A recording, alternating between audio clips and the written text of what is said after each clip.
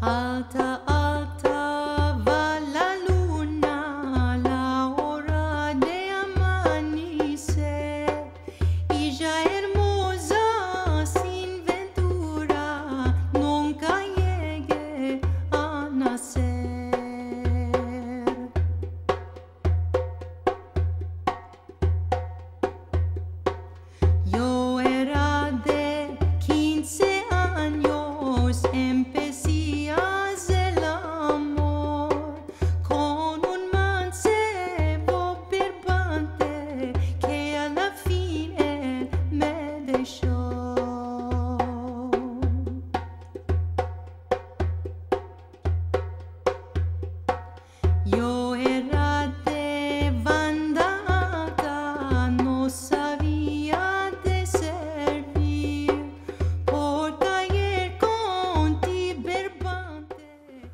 Jews of Spain and Portugal are known as Sephardim.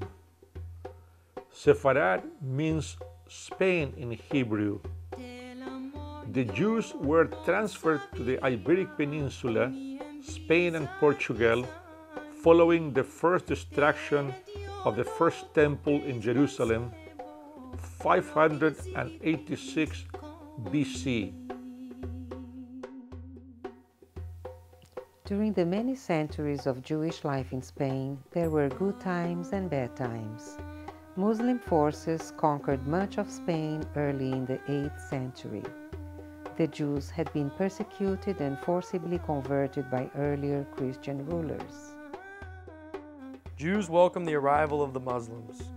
Under the Muslim rule, Jewish life in Spain began to flourish and indeed came to enjoy a golden age in the 10th century.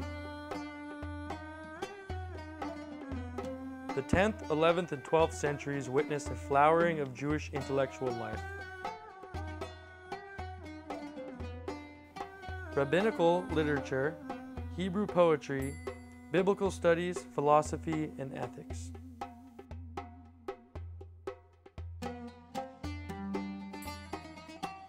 Moshe ben Maimon, Maimonides, became the single most important figure produced by Sephardic Jewry.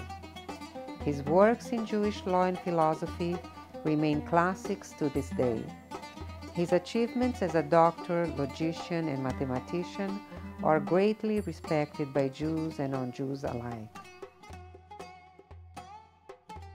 Life in Christian Spain became increasingly difficult for the Jews during the 14th century. When the Christian forces conquered Granada in January 1492, the last stronghold of Islam in Spain fell.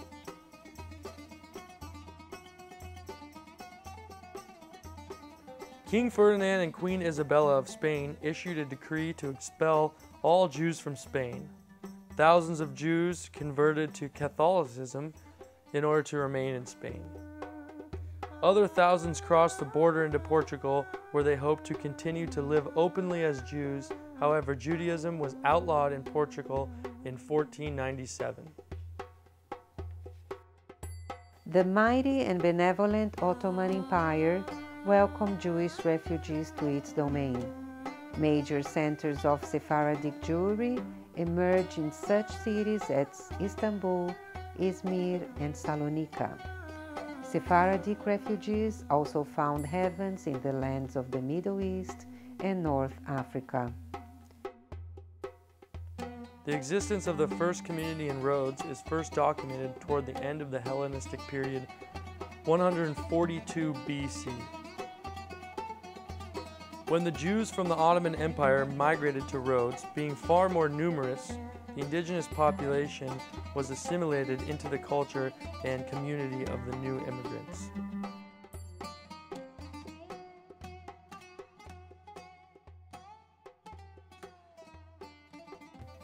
The Jews of Rhodes enjoyed a very peaceful existence, with exception of the blood libel in 1840 that was solved with a European diplomatic involvement.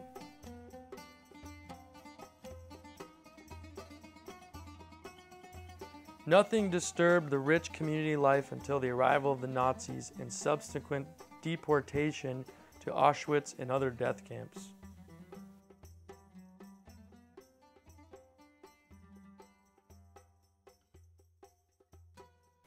This is the story of Sara Levi from Rhodes as she personally narrates her journey to America, a direct descendant of those Jews from Spain who was able to transfer most of her culture acumen as well as music tradition. I am Sara Levi. I was born in the most beautiful island in the Mediterranean, the island of Rhodes. I think my mother was born in 1914, but it could very well have been 1912. When I used to read about the island, they called it the island of roses and beautiful women. I was a very good swimmer, and now I cannot be modest uh, because they used to call me peshekane, means uh, uh, that the big, the dangerous fish. And the boys used to come after, but the Italians are the ones I was interested in. Fell in love with one, and his name was Reno Cassini.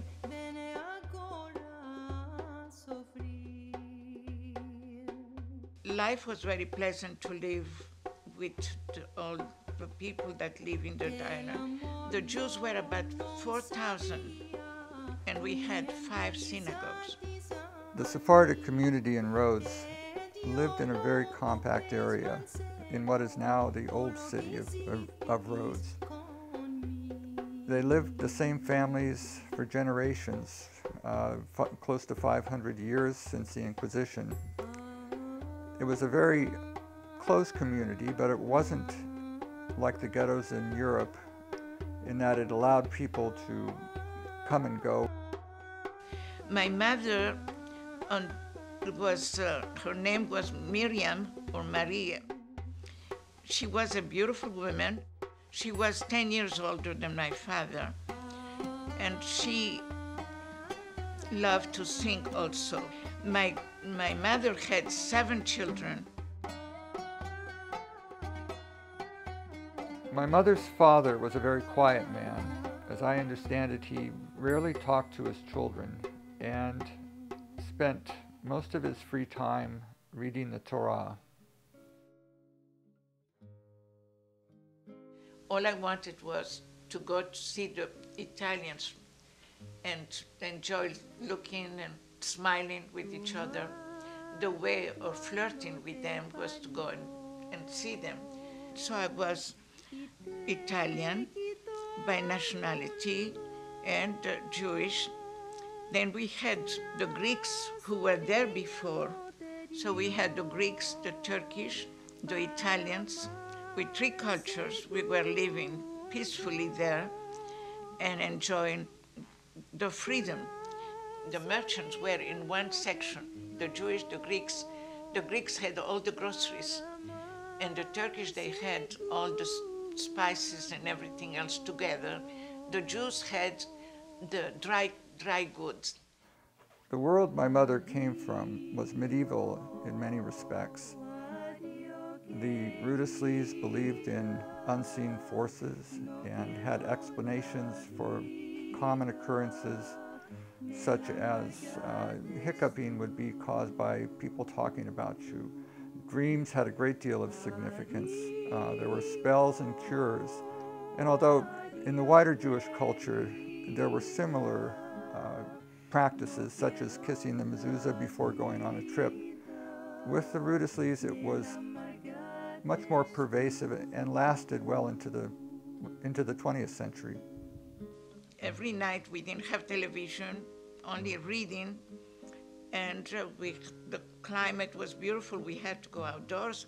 So the Italians decided that this would be the best thing to have the Jewish people coming after they finished their dinner, whatever, to the Mandraki. But the Jewish girls and boys, they were all in the Mandraki, singing, singing, singing. que para mí sos muerta. People would come, the windows open when it was warm. They would hear the Levi family singing Oh. Passover and Rosh Hashanah. And we used to sing in and Hebrew, but most.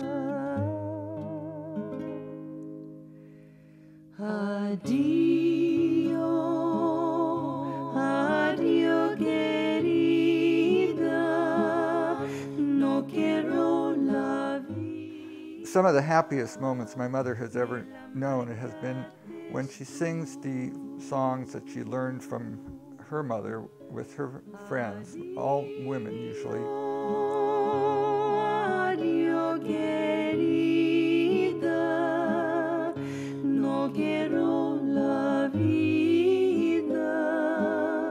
When I was born in 1914, the Italians came, had the possession of the 12 islands in the Dodecanese. And consequently, I was an Italian subject. The Italians acquired the island in 1912. And the Italian government sent teachers as, well as administrators of government to the island. And my mother read the Italian authors and she listened to the operas of Verdi and Puccini. And her love of the Italian culture and, and the people also continues to this day. We had also an opera house in a small island. You can imagine to have an opera house. And that was in 19, see, 1912, I, 14 I was born, I think. And they were there already. And I remember we had a theater. But we understood what our parents wanted us to do, to marry our own, um, uh, having affinities with uh, the the Jewish people, but we thought that they were almost like cousins, even if they are they're just our friends at school.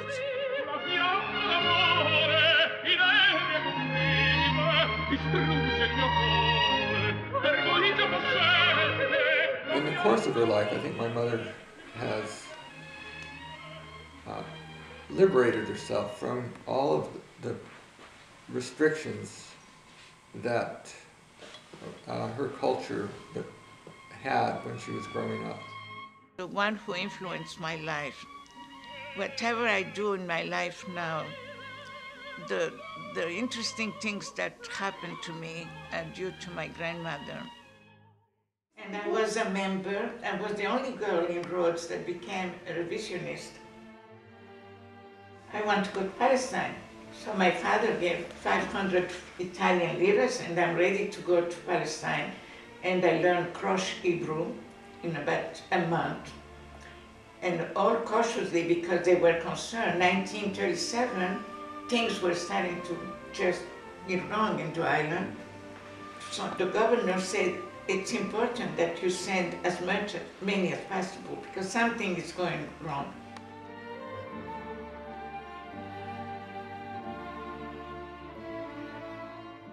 And I was going to go on a knapsack, 500 Italian liras, and I was going to go to Palestine. But then my sister Salma, who was in New York, the one who married a Jewish fellow, she said, I don't speak English. I don't know that culture. The people, my husband's family from Turkey, they speak only Turkish and Ladino, and I couldn't learn any English. So she begged my mother to send me to America. 30, 1933, an Austrian came, Austrian came in a, in a, flat, inflatable little boat, rubber boat, and he came alone. Umberto was his name, and he said, Huber, I have bad news for the Jewish people here. Today we have a dictator in Germany. His name is Hitler. It's going to be bad news for the Jewish people. We didn't even know anything about Germany, Austria, because all we were centered in Italy, France, and Rhodes. At the time, it was uh, Roosevelt, the president, and they had to have a quota to come to this country. But my mother wanted to send me to my sister, and thank God for that. My grandmother said, Miriam, you know what you're going to do? The governor that Italian governor is Philo-Semite. He loves the Jewish people. He's just like our own people. Why don't you make the masapan that you make so well, that almond paste? Make a nice tray. Let's send it to him, compliments and all that. And then the governor said, of course I'm going to help them. to give permission to Sarah to go to New York. But how would she go alone? She's only 17, 19. And alone, there are no airplanes, it's by the ocean liner. My mother gave me a trunk of velvet, made in velvet, and everything was full inside oriental rugs, three of them, and all trousseau that I had, and jewelry, and jewelry, and things, and the most beautiful dress.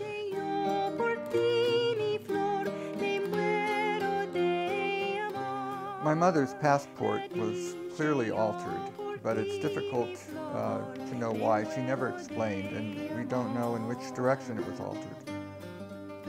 And nobody believed that I was going to go alone without knowing the language, without knowing anything. So my grandmother said, she'll go, She's, she has courage. I taught her, and I did. I was the, the, almost the last one to leave. My school teachers, my aunts, my uncles, my friends, second cousin, children, uh, all of those that I live with in every day of my life, and I never saw them. I was only 18 when I left, and for the last time I saw my mother waving a handkerchief. I was going to go not knowing where, how I'm going to live, without knowing the language. And on the ocean liner, the captain saw that the Italians wanted me to be with them, and they said, We're going to have in, our table, you're going to sit with us. And they look at the way I was dressing, and I told them, Well, I have an interesting dress over there in the trunk, wherever they put the baggages. And the captain said, You have the key. He took the keys, they went there, took the dress out, and they want me to wear it the last night of the, the ocean liner. And I wore that dress, and evidently they put something on my head. They took that picture.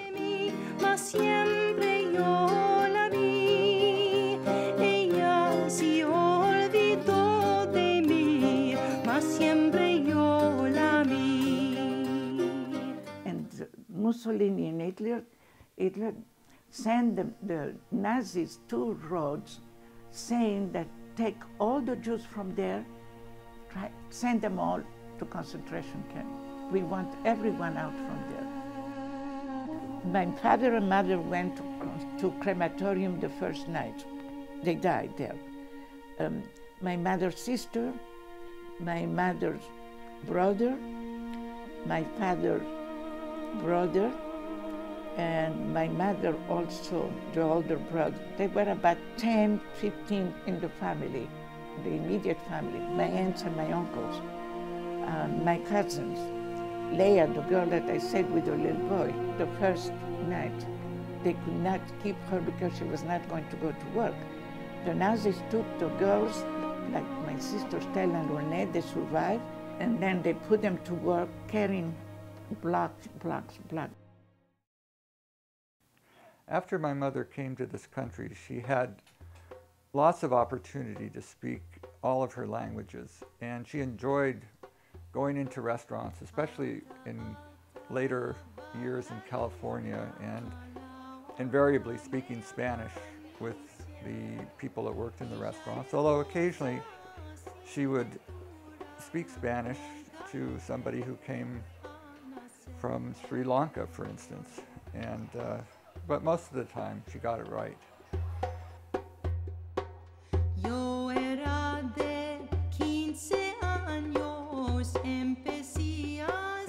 United States, she uh, made a very important connection with the singer Judy Frankel. I remember Judy coming over and learning her first romanceros, her songs of the culture of the Rhodeslis, of the Sephardim, from my mother. And eventually, Judy expanded her repertoire. It was very important for my mother to work with Judy Frankel, whose songs you are hearing in the background of this movie. Judy essentially created a body of material that uh, is a reminder of what the Rhodeslis and Sephardim in general, uh, what was important to them in their culture. The songs of the Sephardim are central to the uh, life of, of the, at least the Rhodeslis. My mother had a difficult time in the early years in this country. She worked in factories in New York and had very little money, as most refugees, and had uh, essentially a very optimistic outlook. And so when she left the East Coast for California, she really didn't know what was in store for her. My mother's lo love of Italy and Italians continued throughout her life. She loved going to Italian restaurants and speaking with Italians whenever she could. She formed a very close relationship with a family who came to the University of California as uh, a guest professorship. This family, the DiBiases, were from Padua, and for a number of years, my mother went and stayed with them and traveled throughout Italy when they had returned to live there. One of her greatest joys, I think, was traveling in Italy and um, knowing more about the culture and people there. In my family, my daughters, my wife and I, my brothers, were able to find out what my mother's early life on Rhodes was like by uh, eating the foods that they ate, listening to the songs they sang, and the life, the way they, the simple way they lived their life and carried themselves was exemplified in the way my mother lived. Besides the food and the music and those superstitions that my mother brought with her from the island, she also had a very definite personality that affected everyone who met her.